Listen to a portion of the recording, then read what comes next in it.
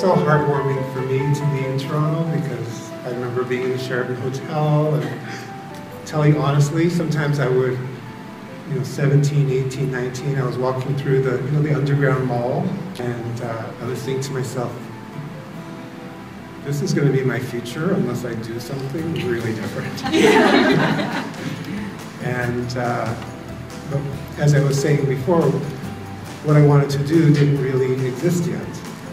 So it took me really years and years and decades and decades to get to a place where I became an overnight success.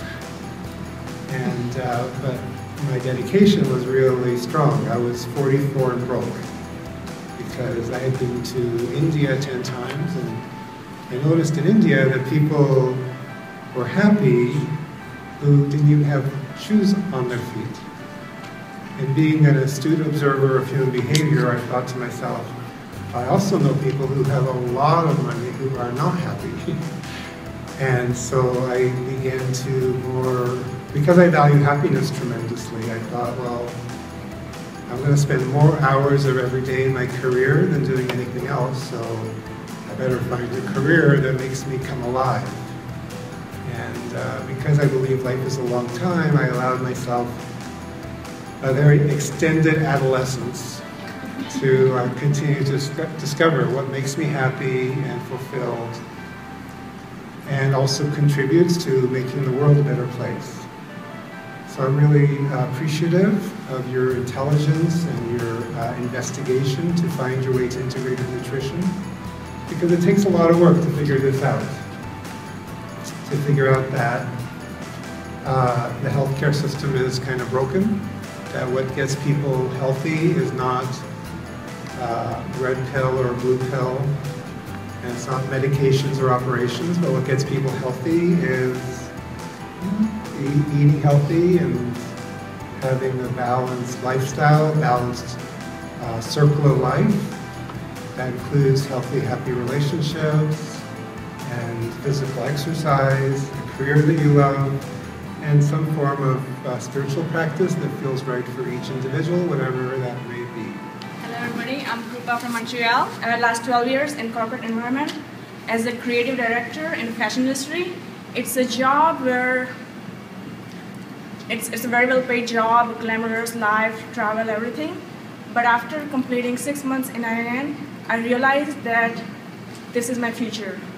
This is really what I want to do and it took me a lot of courage to leave that job. During the holidays, with the help of my family and husband, I decided that I'm going to leave this job. And my first day back from holidays, I resigned. I gave three months notice, and by end of March, I'll be finishing my full-time job, and I'll be working as a full-time health coach.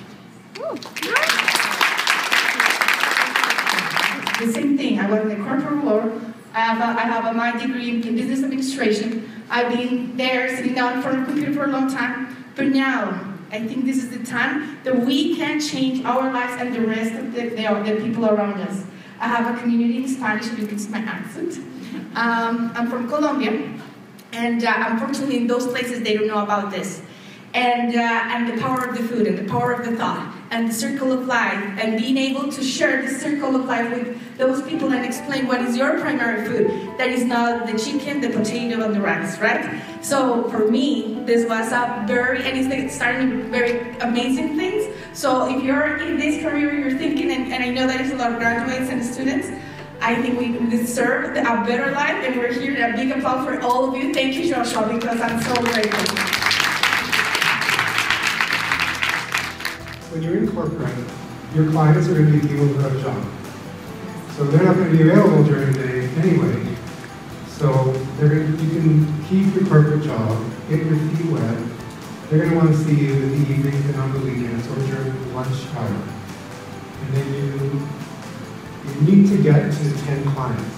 The first client you get, you're like, oh, I don't know what I'm doing. You're like, out. Second client, you're like, okay, I know how this works. Third client, you get a better sense of what you do. You have to get to a 10 client, and then you develop momentum. Same to my husband, you know, like, you've gone to university or college, and these teachers never turn around to say, okay, let's see how my students are doing.